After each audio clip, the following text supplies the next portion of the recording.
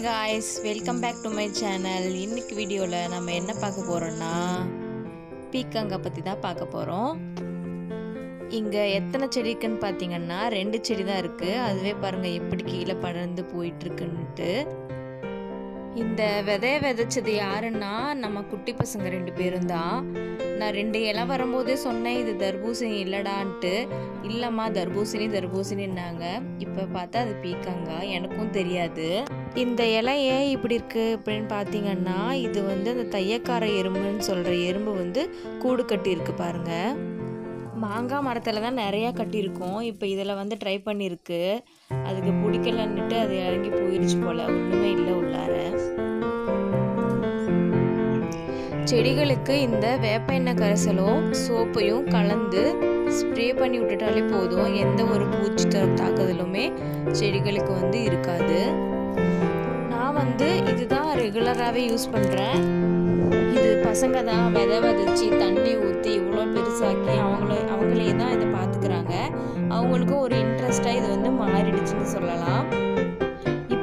மருந்து அடிக்கிற டைம் வந்து ஈவினிங் டைம் அந்த பூக்கள் விரிய வந்து இப்போ ஆரம்பிச்சிருச்சு பாருங்க.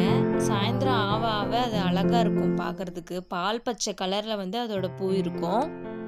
அந்த பூக்கள் விரியிற ஒரு வீடியோ வந்து நான் போட்டிருக்கேன் பாருங்கள் அதோட பேர் வந்து பூக்கள் பூக்கும் தருணம் அப்படின்னு. என்ன விதை என்ன இலை அப்படின்னு தெரியாமலே நாங்கள் வந்து நிலம் கிடச்சோன்னே போடுங்கடா விதைய அப்படின்னு சொல்லி போட்டு விட்டுட்டு தான் இது எல்லாமே. இந்த தேனிக்கு வந்து என்ன பேருன்னு தெரியல ஆனால் அது ப்ளூ கலரில் இருக்குது அதோட பின்பகுதி பார்க்க அழகாக இருக்குது நிறையாவே காய் வச்சிருக்கு பாருங்க குட்டி குட்டியாக அந்த லைன் ஃபுல்லாகவே நிறைய காய்ங்க தான் இருக்குது பிஞ்சு பிஞ்சா. இதுக்கு ஒரு காரணம் அந்த தேனீக்களும் கூட சொல்லலாம். வீடியோ கொஞ்சம் ஆடி வரும்.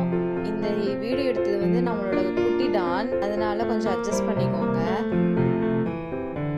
இது முடிக்குமே எந்த ஒரு உரமுமே கொடுக்கவே இல்லை. இப்பதான் கிளறி விட்டுட்டு வேர் பகுதி கிட்ட மாட்டு சாண உரத்தை வந்து ரெண்டு செடிக்குமே கொஞ்சம் கொஞ்சமா போட்டு விட்டுருக்கேன். எந்த செடியா இருந்தாலும் இந்த மாதிரி ஒரு கையளவு மாட்டு சாண உரம் போட்டீங்கன்னாலே போதும். இப்போ வந்து அந்த செடியெல்லாம் கீழே படர்ந்து போயிட்டு இருக்கிறதுனால மாங்காவோட சீசன்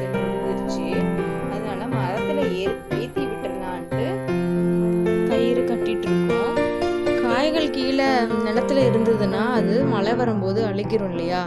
அதனால் மேலே ஏற்றி விட்டுறலாம் அப்படின்ட்டு ஒரு ஐடியாவில் பண்ணிகிட்ருக்கோம் அது எந்த அளவுக்கு மேலே ஏறுன்றது தெரியலை. ஏன்னா நானும் அதுக்கு புதுசு அதுவும் எனக்கு புதுசு. ஃபுல்லாக இப்போ கட்டி விட்டாச்சு. இதுதான் லாஸ்ட் வியூ இதுக்கு மேலே எப்படி வரும்னு தெரியலை. இது பாருங்க கட்டி விட்டப்புறந்தான் தான் ஒரு காய் இருக்கிறதே நாங்கள் இப்போ தான் பார்த்தோம். நல்லா பெருசாகிடுச்சு இதுக்கு மேலே பெருசாகுமான்றது எனக்கு தெரியல. அதை தான் இப்போ அறுவடை பண்ண போகிறோம் நாங்கள்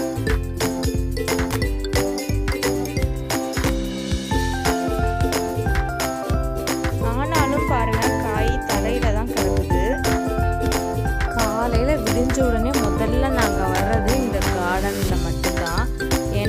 காய்களை பார்க்க வந்து அவ்வளோ இன்ட்ரெஸ்ட்டு ஒரு நாள் வந்து பார்க்கும்போது சின்னதாக இருக்கும். அடுத்த நாள் வந்து பார்க்கும்போது கொஞ்சம் பெருசாக இருக்கும். டக்கு டக்குன்னு பெருசாகிறது பார்த்தா ஆச்சரியமாகவும் இருக்குது இந்த காய் பாருங்க எவ்வளோ பெருசாக இருக்குன்ட்டு.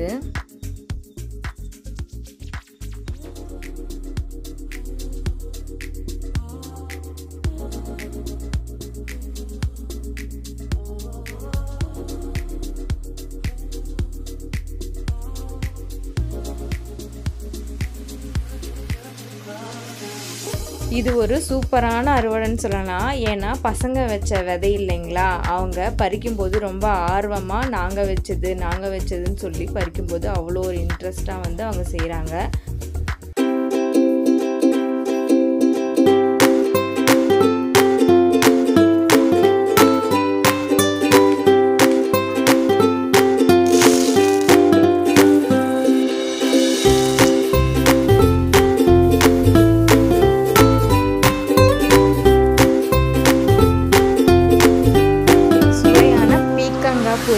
ಮಾಡಿ ಹಿಂದೆ ವಿಡಿಯೋ ಕೊಟ್ಟಿದ್ದ